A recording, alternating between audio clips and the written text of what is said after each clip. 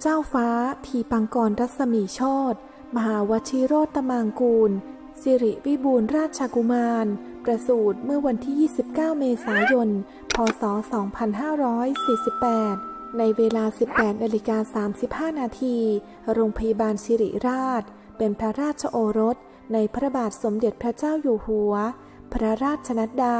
ในพระบาทสมเด็จ พระบรมชนากาธิเบศร มหาภูมิพลอดุลยเดชมหาราช บรมนาถบพิตร และสมเด็จพระนางเจ้าสิริกิติ์ พระบรมราชินีนาถ พระบรมราชชนนีพันปีหลวง พระบาทสมเด็จพระบรมชนากาธิเบศร มหาภูมิพลอดุลยเดชมหาราช บรมนาถบพิตร ได้ทรงตั้งพระนามพระเจ้าหลานเธอว่า ทีปังกรรัศมีโชตผู้ถือดวงประทีปส่องสว่างแก่โลก พระเจ้าหลานเธอที่มีศักดิ์เป็นพระโพธิสัตว์อีกหนึ่งองค์ ที่จะนำศาสนาพุทธส่องเป็นดวงประทีปสู่โลก อีกไม่กี่ปีข้างหน้า เพื่อเก็บกวาดธรรมชาติ ได้ชำระโลกเรียบร้อยแล้ว จะเข้าสู่ยุคสีวิไลของคนไทย ประเทศไทยธรรมะจะขจรกระจายสู่โลกกว้างอีกครั้งหนึ่ง ประเทศไทยซึ่งถือเป็นศูนย์กลางของพระพุทธศาสนา จะประกาศธรรมะ ที่สามารถปราบยุคเข็น ความทุกข์ลงได้อย่างสิ้นเชิง ยุคนั้น ธรรมะที่แท้จริง ซึ่งเป็นธรรมะแท้ หรือวิมุตติยานทัศนะ ทัศนะแห่งความรู้จริง จะปรากฏแก่โลก มนุษย์จะสำเร็จโดยอริยศาสตร์ รัตนบัลลังก์สีหนาฏการประกาศธรรมที่ยิ่งใหญ่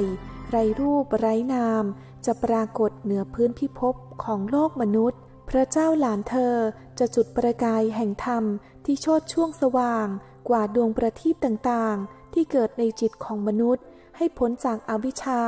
ไม่ใช่ปราบยุคเข็นในประเทศไทย แต่จะส่องสว่างแก่มนุษย์โลก ทีปังกรคือชื่อพระพุทธเจ้าในอดีตการ ทีปังกรรัศมีโชดแปลว่า พระพุทธเจ้ามีรัศมีหาประมาณไม่ได้ ท่านผู้ฟังคงจะเคยได้ยินคำทำนายของ 12 รัชกาลเริ่มจากรัชกาลที่หนึ่งมหาการ รัชกาลที่สองผ่านยักษ์ รัชกาลที่สามรักมิตร รัชกาลที่สี่สนิทธรรม รัชกาลที่ห้าจำแขนขาด รัชกาลที่หกราชโจร รัชกาลที่เจ็ดนั่งทนทุกข์ รัชกาลที่แปดยุคทบิน รัชกาลที่ 9 ถิ่นกาขาว รัชกาลที่ 10 ชาววิไล ได้ยินว่าพระมหาเถระองค์หนึ่งจึงเมตตาต่อคำพยากรณ์ให้อีก รัชกาลที่ 11 ไทยมหารัฐ รัชกาลที่ 12 จักรพรรดิราช ชาววิไลคือความเจริญจะพลิกมาโตทางเอเชีย โดยเฉพาะประเทศไทยจะเป็นศูนย์กลางของโลก ปิ่นธรณี คนดีเริ่มมีบทบาทในกิจการบ้านเมือง ค้นพบทรัพยากรธรรมชาติ ศาสนาพุทธรุ่งเรืองอีกวาระหนึ่ง ชาวไทยกินดีอยู่ดี ทุกคนจะภูมิใจในความเป็นไทย ไม่ดูถูกคำว่าไทย เอ่ยคำว่า ผมเป็นคนไทย ในต่างแดนได้อย่างภาคภูมิใจไม่อายใคร แต่ที่รู้ๆเราได้เกิดร่วมยุคกับเหตุการณ์สำคัญหลายอย่างที่กำลังจะเกิดในประเทศไทย ในโลกด้วย มองในไทย แต่ต้องอิงกับกระแสโลกด้วย กระแสลมอาจเปลี่ยนทิศ คิดว่าต่อไปในภายภาคหน้า พระองค์ทีอาจจะมีผลงานอันยิ่งใหญ่สำคัญ หรือเป็นบุคคลสำคัญมาก ๆ ทางพุทธศาสนา หรืออาจจะได้เป็นองค์ต่อไปในอนาคต ทีปังกร คือชื่อพระพุทธเจ้าในอดีตการ ครูบาอาจารย์ท่านเคยบอกไว้ว่า ในหลวงรอเก้าทรงมีทิพย์จักขุยานที่แจ่มใสตั้งแต่เจ็ดขวบ ในหลวงตั้งชื่อให้ ชื่อพระองค์เจ้าทีปังกรรัศมีโชดในหลวงตั้งให้ คิดว่าพระโอรสต่อไป อาจจะมีผลงานเกี่ยวข้องกับพระพุทธศาสนา ทีปังกรรัศมีโชดแปลว่าพระพุทธเจ้าที่มีรัศมีหาประมาณมิได้ แล้ววันที่เฉลิมฉลองก็มีรัศมี หรือพระอาทิตย์ทรงกรดถือว่าเป็นสิริมงคลมาก นอกจากจะมีพระอาทิตย์ทรงกรดแล้ว วันที่ขึ้นพระอู่ในตอนเย็น หากใครสังเกตก็จะเห็นเมฆสีขาวสะอาด ทางด้านตะวันตก เป็นสีรุง้ง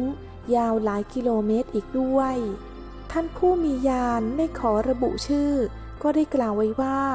ด้วยอำนาจสมาธิที่เคยฝึกมา แม้ผมจะไม่เก่ง ก็รู้สึกได้ว่า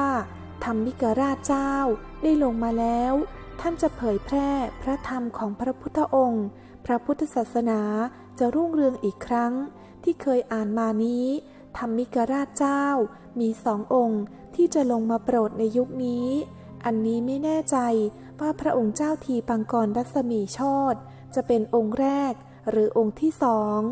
แต่ที่แน่ ๆ ดีใจมากๆครับ ที่พระพุทธศาสนาจะเจริญรุ่งเรืองอีกครั้ง พระนามว่าทีปังกรเป็นพระนามของพระอรหันตสัมมาสัมพุทธเจ้า พระองค์หนึ่ง ที่เสด็จพระราชดำเนิน มาตรัสรู้เมื่อสี่อสงไขยยิ่งด้วยแสนกับที่ผ่านมา และพระผู้มีพระภาคเจ้าพระองค์นี้ ทรงพยากรณ์สุเมธดาบท คือผู้ที่ยอมถวายชีวิต ทบเบื้องบาทมูลของพระทีปังกร สัมมาสัมพุทธเจ้า ว่าจากตรัสรู้เป็นพระอรหันตสัมมาสัมพุทธเจ้า อีกพระองค์หนึ่ง ทรงพระนามว่าพระสมณะโคดม ซึ่งก็คือพระสันเพชรทศพล พระองค์ปัจจุบันนี้นั่นเอง ดังนั้นเราทั้งหลายจึงควรมีมุทิตา แด่พระโอรสที่ได้ทำเหตุไว้ดีแล้ว ที่ได้ประสูติ ในชาติตระกูลสูง เพราะทรงเป็นผู้อ่อนน้อม ต่อผู้ที่ควรอ่อนน้อมในอดีต ขอพระองค์ได้มีโอกาสที่จะได้ฟังพระสัทธรรมของพระทศพลที่ทรงตรัสรู้ และทรงแสดงไว้ดีแล้ว และก็ควรมุทิตาต่อเราทั้งหลายที่มีโอกาสได้ยินพระนามของพระพุทธเจ้าพระองค์หนึ่ง ในสังสารวัตนี้ ซึ่งก็เป็นโสดวิญญาณกุศลวิบากจริง ๆ ขอพระโอรสทีปังกรรัศมีโชดจงรักษาพระศาสนาของพระสันเพชรทศพลโคดม พุทธเจ้าให้ยืนยาวตลอดการด้วยเทิน ขอถวายพระพร